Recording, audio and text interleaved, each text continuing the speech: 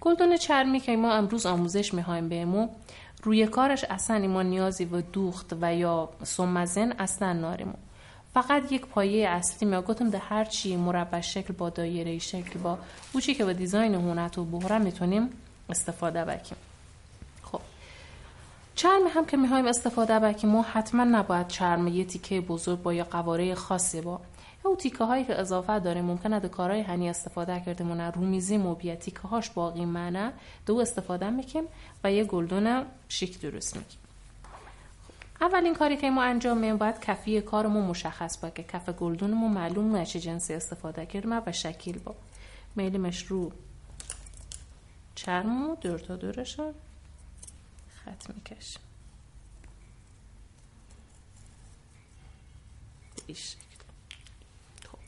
پس ما فقط یه دونه الگو می‌خوایم. ما بقیش هم چرممو آماده. چون دور تا دور کارمو میپیچه و چسبون. کفی کارمون رو برش می‌زنیم و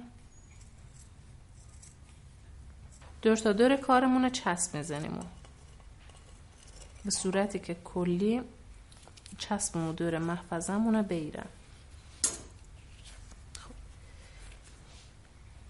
چرممونه در لبه پایینی ما مماس میریمو چون کفه کارمونه در آوردیمونه. به چه دلیل من لبه پایینی مماس و کفه کار میریم؟ چون در بالای کاری ما نمی‌خوایم لبه پلاستیکی کارمون مشخص باید ای محدوده و تاش می‌زنیم و داخل کار. پس پایین کار مماسش میکیم تا که رسس لبه پارچه و لبه چرممون مشخصم. اونو ها تاب از اینمو که لبه پلاستیکی کارمو معلوم نوه لبه کارنو باز چسب می‌کنیم لبه چرممونه نه لبه پلاستیک اینه به این شکل تا می‌زنیم داخل کار. دوستای عزیز گفتیم دور تا دور کارمونه ما چرممونه چسبنامه یعنی محفظه کلا شکل گرفته. کفه کارمونه ده مراحل آخر کار کفه کارمون میچسبن کفه کار حتما ضروری نیست چون کفه کار زیاد مشخص نیست روی کار.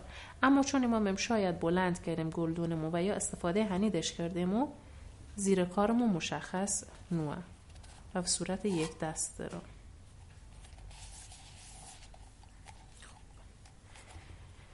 ده ای کار تو هیچ گونه جنس اضافه ایمان. نه هستیم که خرید بکیم. تنها چیایی که استفاده کردیم زایاتی بی که دهونه داشتیم و می‌تونیم دش به صورت گلدون یا با همون عنوان جا خودکاری داشت استفاده بکیم.